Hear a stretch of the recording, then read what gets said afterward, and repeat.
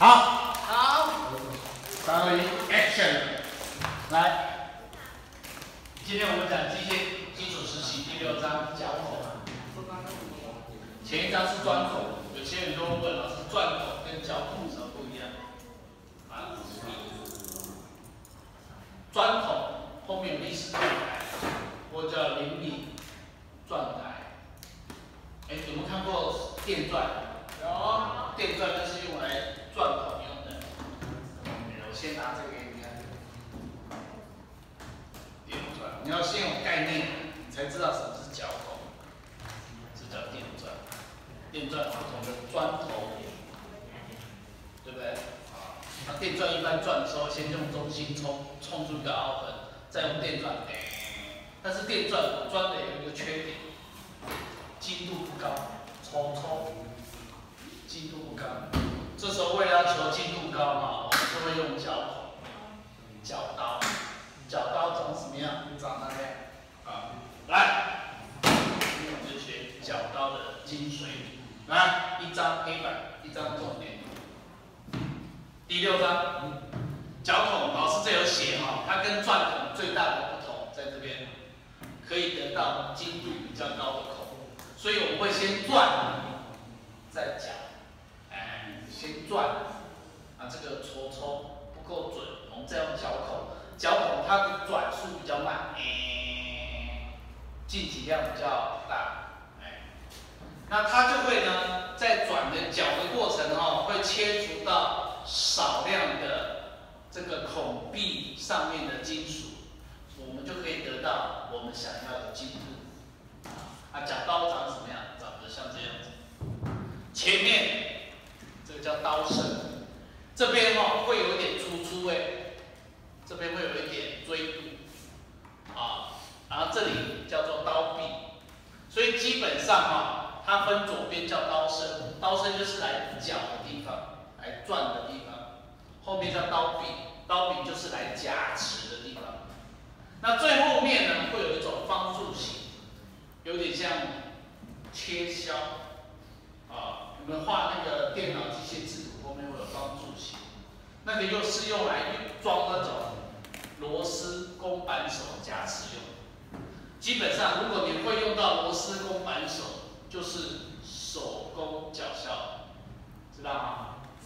那所以画起来大概就长得像这样。那绞刀英文叫 reamer，r e a m e r，reamer。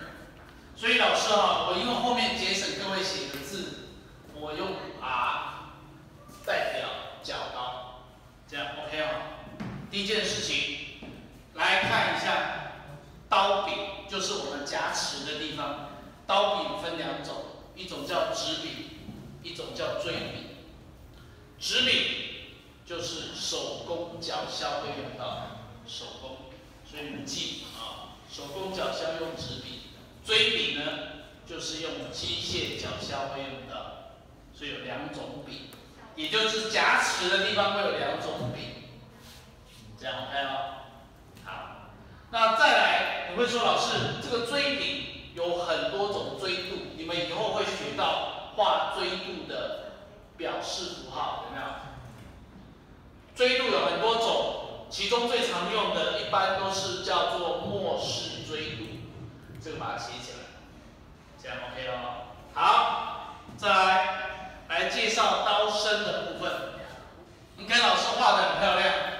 刀身就是来讲金属孔壁那个地方。刀身分刀槽，槽就是凹下去的地方，跟刀刃凸出来立立的地方。所以刀身分为刀槽跟刀刃。刀刃又分两种刀刃，一种叫做直刃，一种叫做螺旋刃。那直刃呢？哦，直直的。对不对？直直的一种是像螺纹这样子，你觉得哪一个阻力比较大？直直的，因为它这样旋转，直直的这样，哦，这个阻力就很大。阻力大，容易震动，震动大，所以箱型哈做出来的精度就可能没有那么好，知道吗？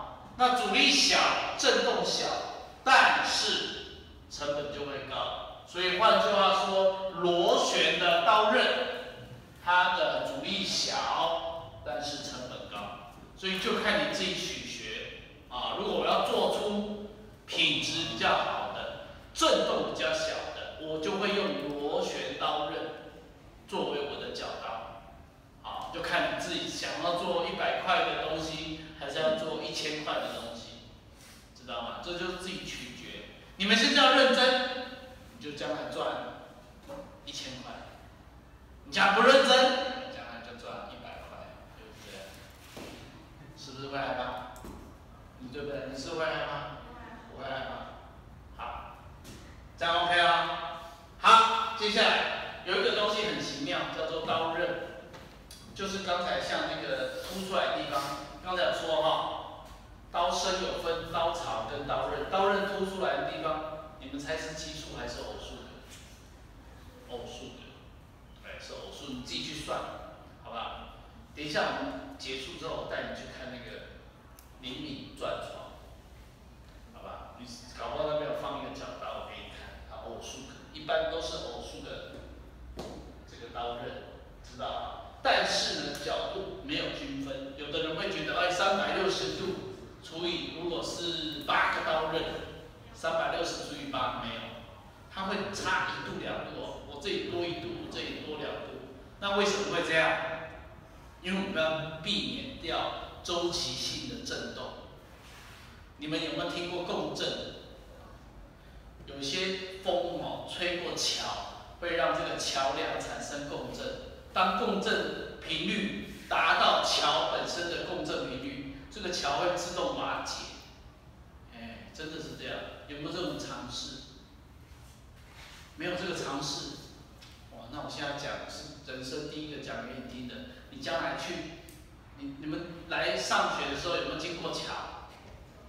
你去吹它，吹它，大力的吹，让这个桥发生晃动。这个桥当晃动到某过程中，刚好达到共振频率，它就会自动瓦解。我跟你打赌，来，你叫什么名字？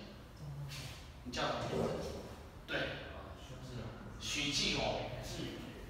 施志龙。许志龙。对，许志龙。我跟你打赌，你几点下课？五点。五点半，你去吹你家的那个桥，用你最大力把它吹到震动。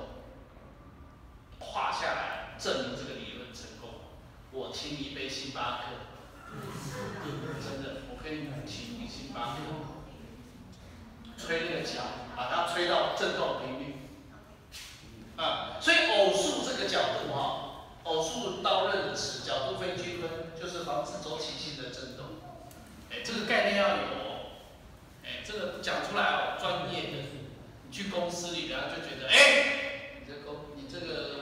工程师有概念，知道吗？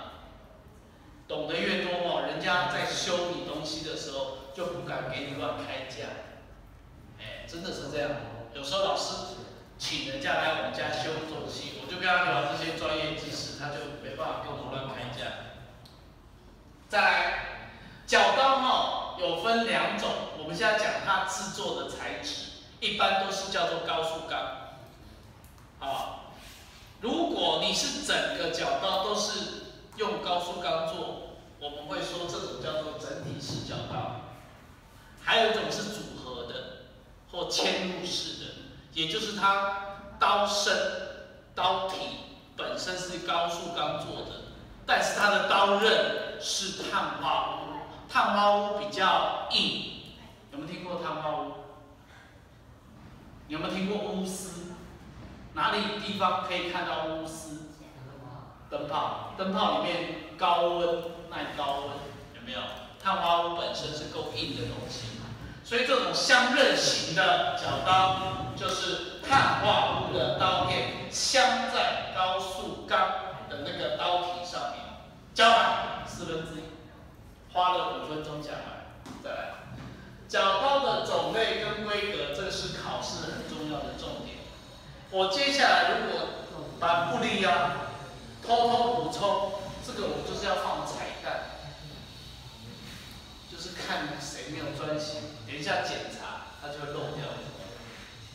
啊，脚装的种类分为很多种哦，这个念起来。对吧。来看这里，我念一次给你听啊。放家吗？哎，你不要害怕，你是二号，你是二号，你刚才是不是拿东西丢人家？不是他。直朝角刀，直朝角刀就有点像这个啦。我画这个有点像直朝角刀。螺旋朝角刀，螺旋朝角刀就是它这个刀刃，老师刚才说啊，是螺旋刃，这种阻力比较小，震动比较小，成本制造比较高。再来，机械角刀、可调式角刀、膨胀角刀，还有锥度角刀，这几个。很多对不对？我一个一个讲。直朝角刀一般用在手工角削，所以这里有说嘛，因为它要手工，所以震动比较大，对不对？人去做的手一定会震动大，所以直朝角刀一般是用手工角削，啊，因为有时候机械做的话震动大会损害机械，知道吗？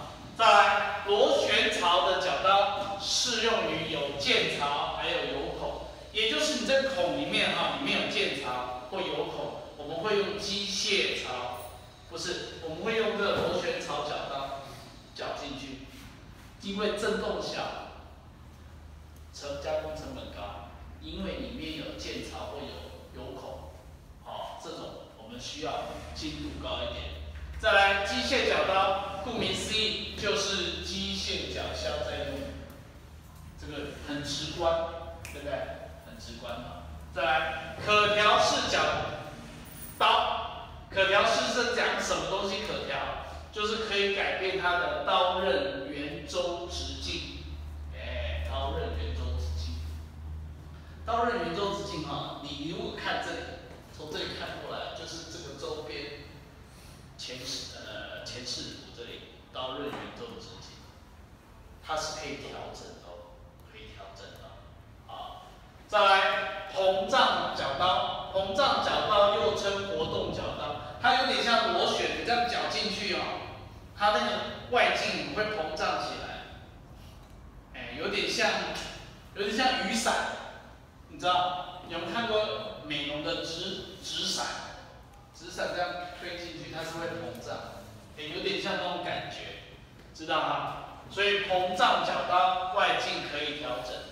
再来，那你刚我再稍微补充一下，刚才那个可调式角刀哈，可调式角刀不是刚才说那个刀刃圆周直径可以调整，也换句话说它是可以换的，我可以换不同的刀刃。那有些同学哦，在换刀刃的时候，因为刀刃可能是数个嘛，可能有八个。或十个，在换哈，你一定要八个或十个，全部刀刃都要换，你不要只换七个，一个不换，这样不可以，知道吗？要换的时候全部都换，啊，所以老师这有写，如果你要换刀刃，可调式角刀你要全部都更换。再来最后一个角刀叫做锥度角刀，这种角刀。因为锥度，换句话说，前端直径小，是在讲哪个？咱这边这个地方进刀的锥度，这叫进刀锥度，所以它这会有点收起来，这里直径会比较变小。那变小之后呢，它就会有一个问题叫排血不易，就是我们在讲的过程中，它会产生铁屑或金属屑，这个屑哈要沿着这个绞刀的刀槽。但是因为你前面变小，排血不易，所以常常要定时排清清理那个血，也就是我们转工作了搅一段时间要停下来清理那个血，这样 OK 哦。好，快快讲完了嘞。再来第二个重点，这个规格，规格也爱考哦。规格第一个，直径、精度、材质，这个材质是指刀刃的材质，刀柄形状、角刀种类。所以我举个例子，再这样，这个 Phi 八，Phi 八就是直径，啊，直径，精度 H 七，这里你们现在有没有学到？一年级还没有学到吗？有基轴制、基孔制，现在还没学到。你们画画手手会画到吗？也没画到，以后会画到。不信你问后面的学姐。以后电脑制图啊，手绘制图会讲到这种孔公差，H 叫做孔公差啊，机孔字都是用 H，大写是 H 啊，啊大写是用在机孔字写下来彩蛋，大写，基孔，你讲什么？把它讲小声一点，那各位同学不要吵那些。七是公差等级，HS 叫高速钢，也就是刀刃的材质。啊，刀柄形状在这里，角刀种类在这里。讲完，讲蛋，最后钻头直径计算，哇，这个也是重点，也是重点。你要有一个感觉啊，一般我们角刀哈，是不是先？刚才老师有讲过，是不是要先钻？钻出来的精度不高，比较粗糙，有毛边，我们才会第二次用角刀去绞出精度比较高的。所以要先记住这个字啊，先钻后绞。先钻的孔一定比较小，叫绞的孔一定会比较大，懂吗？所以老师画一个图在这里啊，你看哦，蓝色的是不是比较小？这个叫小 B，小 B。就是角孔前钻头的直径，对不对？因为我们先用钻头钻出来，那个比较小，所以我们用小 d。比较大的是用大 d 表示，因为它是角孔的直径，所以大 d 是角孔直径。这个哈，你要把这个概念弄清楚，顺序加工顺序弄清楚就没问题了。那两个之间的差是什么？就是 m。这叫做角消预流量，用小 m 表示。刚才有人说老师，你这预是不是写错了？不是，预是预度的意思，不是预先的预，知道吗？所以你用大 D 跟小 d 的差就是 m，这就是它的公式。换句话说，你 m 越大，你这个 m 哦要跟 d 成正比哦。知道吗？如果我们要角的直径更大，你那个预流量是不是要消掉的更多？对，没错啊，这个用 common sense 去想就对了。所以 m 跟 d 会成正比哦，知道吗？m 跟 d 会成正比，你要先有这个先钻后角的概念。快讲完了，好，再来。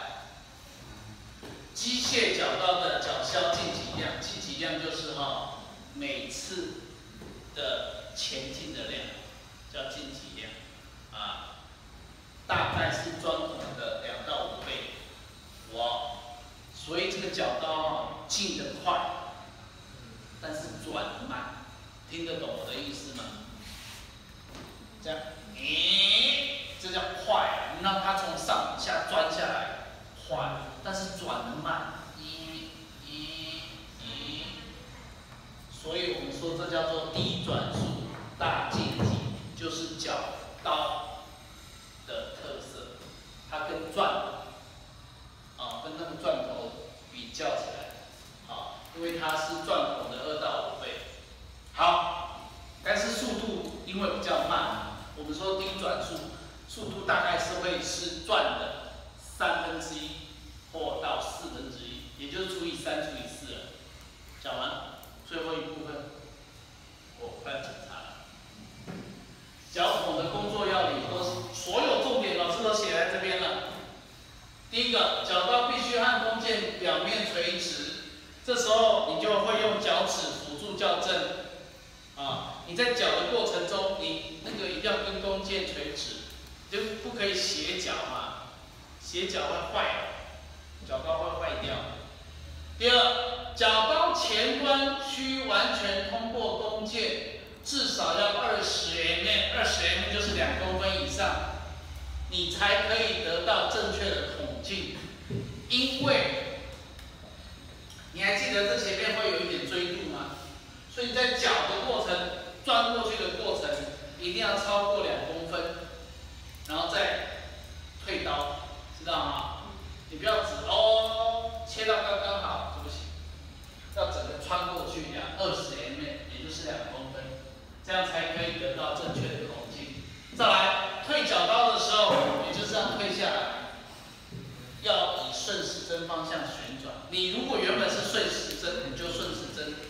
进刀跟退刀，你不要用逆时针。